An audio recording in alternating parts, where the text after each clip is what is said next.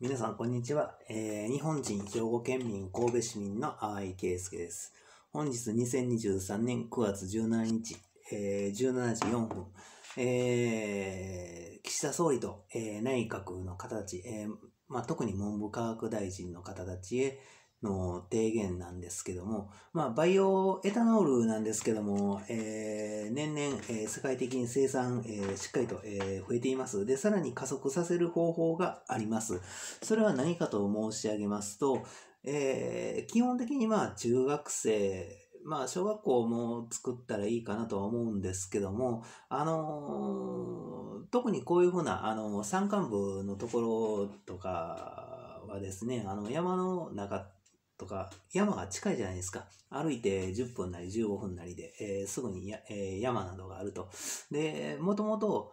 草からとかでも発酵して上流で確かバイオエタノール、アルコール類が作れたと思うんですよ。で、それを、あの、小学生や、あの、中、あ小学校や中学校で作ってもらうと。まあ、校外学習みたいなものですね。自分の、その、小学校とか中学校の近隣のところ、まあ歩いて、まあ15分ぐらいの範囲のところの草を刈ったりとかして、えー、自分の学校で、え、バイオエタノールを作ると。で、それを燃やして冬暖を得ると。まあ、これは各地域によるかと思うんですけども、この案で、えー、どうでしょう。えー、そういうふうな形で、あのー、まあ、基本的に設備投資でお金がかかるでしょうから、例えばまあ学校だったら、あのまあ、20年後とか30年後を見越して、まあ、ここの学校はまだ存続するだろうなっていうような学校で、えー、行っていただいて、で、えー、日本中に小中学校両方合わせたら数千校はあると思いますので、えー、まあ、各小学校、中学校で生産される量は少ないと思いますよ。まあ、その、一冬、あの、特に気温が低い時ぐらい、まあ、ストーブを使ってみたいな形で、そのバイオエタノールを使って、まあ、ストーブを焚いていただいたらいいかと思うんですけども、あのー、それを日本で行って、えー、世界中の国でそれを行うと。そうすれば、えっとね、あのー、まあ、生産量が増えるのもそうなんですけども、あの、僕はその辺のところをたくさん、あの、撮影してるんですけども、工作放棄地、かなりあるんですよ。まあ、有馬温泉の近くのところまで、で、まあその間のところの部分のエリアで言うと工作放棄地全部合わせ合わせたら甲子園ぐらいのスペースがありそうですね。で、草が生えっぱなしになってるんですよ。で、小中学生が借りに行ってくれたら、まあ、あの、小麦を作るのも、まあ、簡単になるなと。まあ、こういうふうなところからですね、まあ、小麦に関しては、えー、毎年400万トンほど輸入してますので、日本国内で作ればいいと。で、工作放棄時何がめんどくさいって言ったら、その、最終的にね、僕のたどり着いた結論なんですけども、まあ、あのー、補助金いただいて畑耕されてる方もいらっしゃるかと思うんですけども、もう僕、クワとかでいいと思うんですよ。畑耕すとき。自分の体も鍛えるの込みで。で、その、そんなに、まあ別にスコップでもできるし、畑耕すぐらい、その小さな面積、1日で正直耕せるでしょ。あその30分ごとに休憩とかしたら簡単に。例えば30メートルかける30メートルぐらい ?1 日で十分でしょ。うああその、まあ、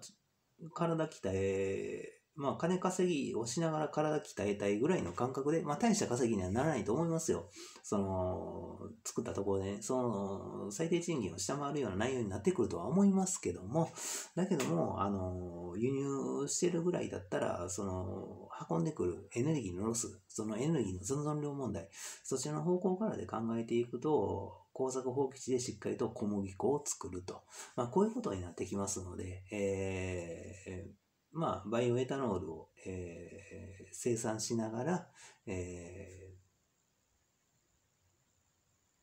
ー、まあ、小麦畑を増やすと。まあ、こういうことですね。えー、これが、えー、2023年9月17日の淡井圭介からの、えー、請願法による陳情です。一応ね、ハローワークにはもう何年も前から畑仕事があったら、したいっていうことで申請はしてるんですけども、工作放棄地があっちこっちにあるのに、全然畑の仕事なんか回ってこないです。どうかしてます多分、ハローワークの人たちの手が回らないんだと思いますよ、JA とかも。管理が行き届いてなくて。以上です。えー、皆さんご協力のほどよろしくお願いいたします。国会議員の方たちやマスコミの方たちへもメッセージとして発信しています。誰かが伝えていただかなければ、えー、話が伝わりませんので。まあ、あの、工作放棄地という欄を、あの、ホームページ、淡井圭介の日記の、あの、YouTube 一覧表っていうのを今作ってるんですけども、まあ、あの、そこで工作放棄地の欄も作っておきたいなと思います。まあ、農業改革としてですね。まあまあ、ちょっと時間かかりますので、まあ来週には出来上がってると思います。えー、他にもあの、いっぱいアップロードしていて、もう何が何やらの状態にやっぱりなってしまっています。あっちこっちで金属を見つけてしまいましたんで、あの、車ごととかのケースです。ああいうのを全部回収したら、かなりの金属集まりますよ。海外から輸入しなくても、いちいち穴なんか掘らなくて、掘って採掘なんかしなくてもいいのに、型や、今、太陽光パネルの、あの、各部品の、あのー、ちょっとした金属、珍しい金属とか、日本で、えー、結構採掘してたところとかあるんですよ。で、そういうところを、あのー、今調べたりして、まあ、どこかの欄に、まあ、まあ、多分49番になるとは思うんですけども、太陽光パネルについてって記載してる。まあ、そこに記載しようかなと思います。例えば北海道の札幌市の、えー、羽曳野市ですかね、読み方。まあ、ちょっとよく、えー、今のところわからないんですけど、2006年まで、えー、採掘していて、で、中が高温になってきたので、えー、採掘をやめたらしいんですけども、太陽光パネルの、まあ、ちょっとした、あのー、量で使う部分の金属なんですけども、まあそこの採掘す、その、うん、マグマが近くにあるから採掘をやめてるのか、本当に暑いから中、あの、人間が入っていた蒸し焼き状態になるから採掘をしてないんだったら自動化で採掘すればいいし、あの、北海道冬だったら寒いでしょう。それだったらちょうどいいんじゃないですか、冬場の採掘で。と、私などは思ったりします。で、ある程度のところまで来て、あの、とんでもない高温になってきたら、そこで、えー、地熱発電したらいいんですよ。とても合理的でしょう。まあ、あの、そういうふうな件も込みで、えー、請願法による陳情ということで、皆さんご対応のほどよろしくお願いいたします。以上です。